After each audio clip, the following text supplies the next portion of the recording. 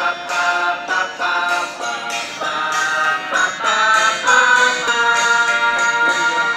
sleeping and right in the middle of a good dream. Like all at once I wake up from something that keeps knocking at my brain.